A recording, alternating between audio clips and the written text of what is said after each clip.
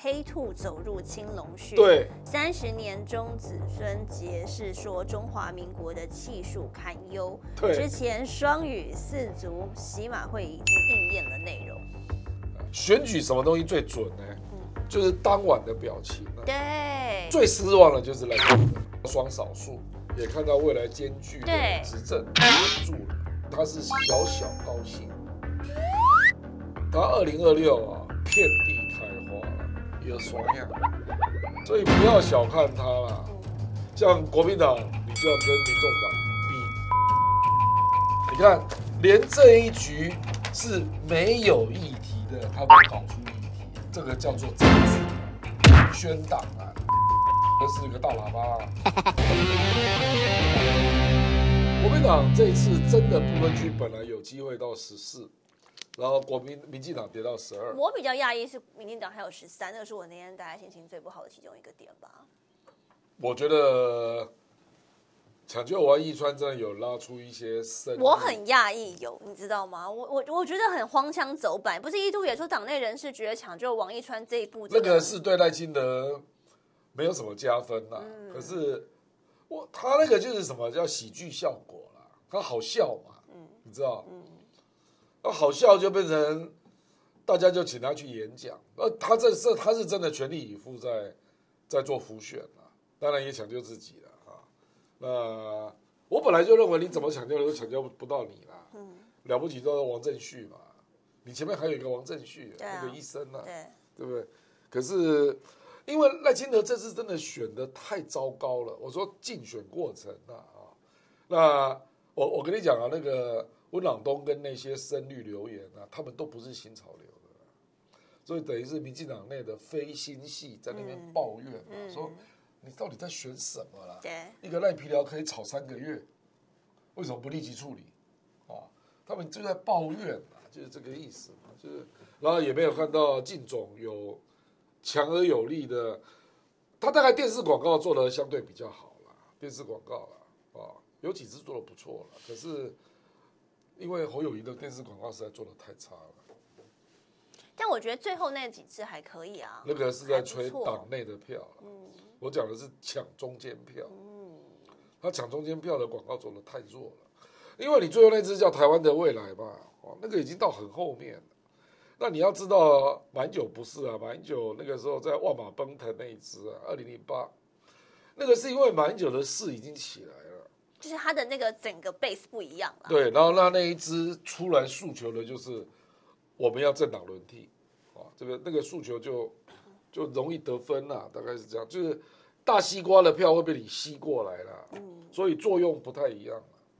呃，感谢我们的网友赵薇的抖内，他说推背图甲辰年是黑兔走入青龙穴，，对，三十年中子孙节是说中华民国的气数堪忧。对之前双语四足喜马会已经应验了内容。因为你看赖清德，我们看那个选举什么东西最准呢？就是当晚的表情啊。对，哦我跟你讲，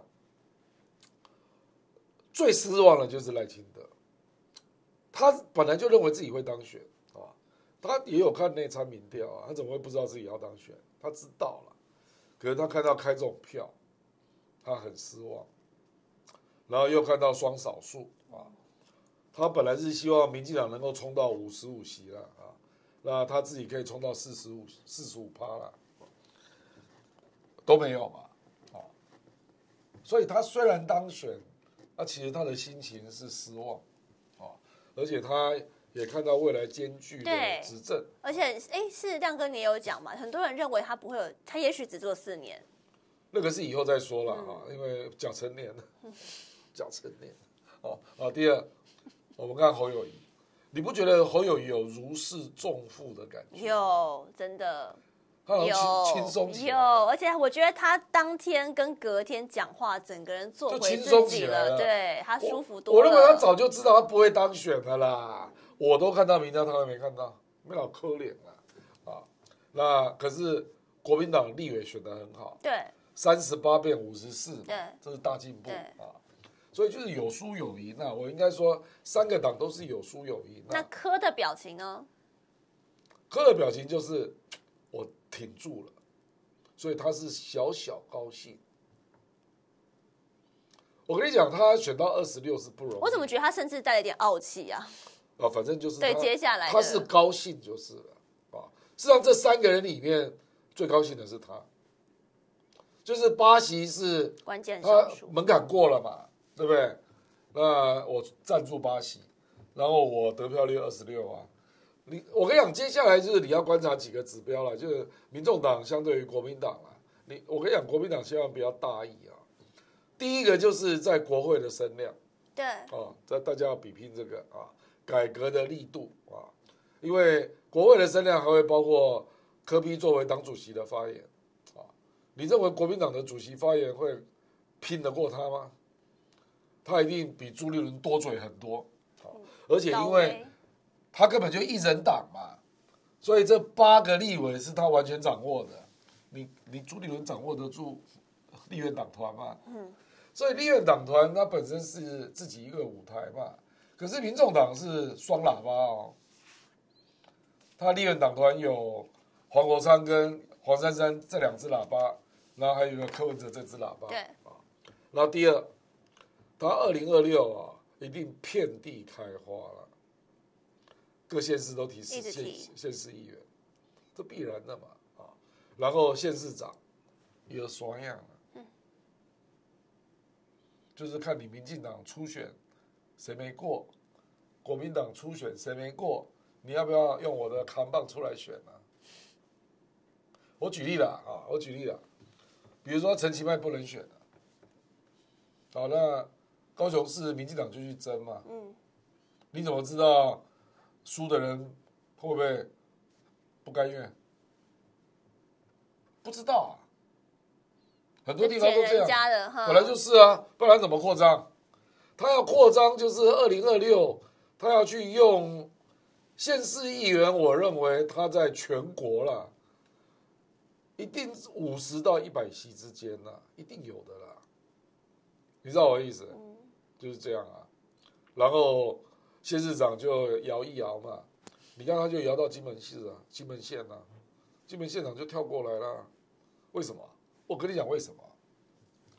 因为对一个想选县市长的人，我用民众党这个扛棒，我不用担心年轻票啊。啊，他本来没有能量去争取年轻票啊，嗯，对，就变成顺便的。这个就是陈明文告诉我的故事啊。哦，因为陈明文本来是国民党的，然后后来阿扁邀请他加入民进党，嗯，啊，陈明文就跟我讲，他说进来民进党之后发现哦，哎，做这种义工呢，很多都义工啦，没开啦，所以他说他进来民进党之后的选举的开销，比在国民党的时候省好多钱，就这意思啊。那当然有很有诱因啊，是啊，那一样嘛。就说你如果是一个在绿营败北的，或者蓝营败北的县市长的被那个候选人啊，你加入民进党是有民众党是有诱因的啊。嗯因为他他可能你看那个科比各县市的得票率，我去看了一下啊，他还有一个地方选到第二名，你知道吗？嗯，新竹县，新竹县，然后新竹市他也是三十几啊。对，桃园他选到三十，哎，他平均都是二十以上，大部分都是二十五左右，那有几个地方选到三十啊。那我的意思就是，你如果你在绿营输了，对不对？你在蓝营输了，对不对？你来用我的扛棒选，搞不好你包底你的包底就二十趴，就是这样啊。所以不要小看他啦，不要以为你就高枕无忧了，不是的。像国民党，我我就劝那个国民党的朋友们，就是说，你就要跟民众党比改革的成绩了。啊嗯，所所以那个刚开票完那一天，我就跟徐小新那边赖啊，我就跟小新讲说，哎，三十几岁的国民党的立委有七个啊，对啊，啊，包括小新在内啊，然后那个张志伦四十岁，侯孟凯四十一岁，嗯，这样就九个了嘛，对不对？那再加上不分区的，你们凑得出十个人，年轻时代，就是年轻时代，说你们要做点大家看得到的事了。那小新说他一定会做，他说这些人他都认识啊，尤其是台中那一群啊，他都认识。还有刘许婷啊，啊，就是他们一定要想办法来改造国民党的权力结构。可是什么才叫做好的改革成绩单呢？这个没有没有答啊，案，对啊，是这个。很看选民的主是啊，，我要所以就是看谁会宣传啊，谁会，比如比如说这次吧，这一次正副院长的选举跟国会改革其实没有关系啊，所以民进党今天不是给他拒绝了吗？民进党就直接说，正副院长重要的是协调能力，跟国会改革无关。那你要搞国会改革，以后到议会大家再来谈吧，啊，等于是拒绝了嘛，对。啊，啊，可是先讲先赢啊，他至少风光了一天呐、好像是他是最主张国会改革的政党啊，黄国昌就玩这一招啊，然后今天被民进党拒绝了，对不对？我觉得他也预期之中。对啊，所以他最后的结果就是自己投自己嘛。那最后正副院长就都是国民党啊，五十四比五十一嘛，对不对啊？你看，连这一局是没有议题的，他都搞出议题啊，这个叫做政治啊，那难怪你要真的好好提醒这些国民党的新生代，是啊。他们是很有能量可以把它所以你要搞大的你。要造势嘛，对，就说哎，国民党对那个科民众党提那五个改革议题的回应，结果只有赵少康回应，你有没有发现？嗯，你有看到国民党作为一个党团出来回应吗？因为他还没上班啊，二月一号才上班，哎，人家还没上班就丢议题了。这个这种东西就，因为我跟你讲了，因为我以前是民进党，民进党就是从小党变大的嘛。你小党的时候不会玩这个，你你你怎么怎么成长啊？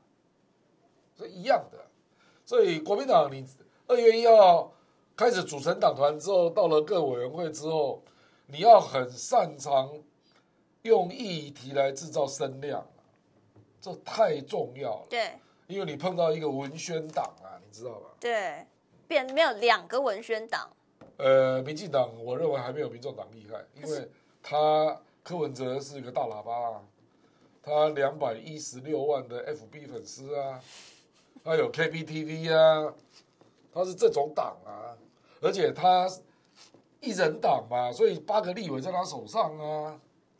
民进党是各种力量嘛，你知道我的意思？原来好的益生菌真的可以帮助入睡。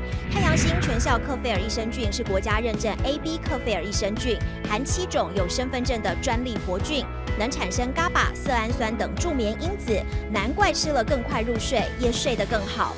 太阳星全效克菲尔益生菌也是台湾市场上唯一添加克菲尔乳杆菌 M1 的产品。这是由台湾知名的大学寄转，对季节敏感、调整体质的朋友，真的是一大福音。还有这支还添加被称为超级食物的羽衣甘蓝萃取物。不少研究都指出，十字花科蔬菜有助抗炎及防癌，像是羽衣甘蓝含有高量的叶黄素、贝塔胡萝卜素、维生素 K、维生素 C、叶酸等丰富营养素。太阳星全效克菲尔益生菌专利制成，无塑化剂、无重金属、无人工添加物、无四百一十项农药、无香料调味剂、无防腐剂、无色素，七大保证、七大认证，觉得好安心。每日克菲尔时刻美好，Good Feel Feel Good，快点购下单！太阳星全效克菲尔益生菌。